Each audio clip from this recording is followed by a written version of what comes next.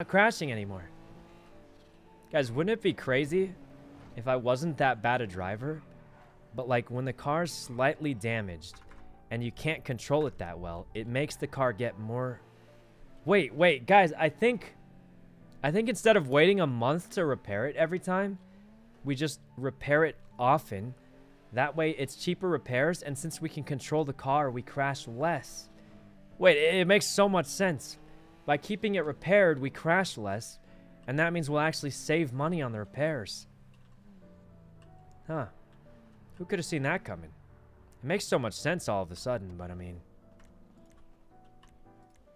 I mean, it, it just seems so obvious now. I mean... Yeah. Didn't you say this before? Did I? I mean, I didn't I didn't think of it till just now. I mean, it's yeah. Huge progress. Actual huge progress.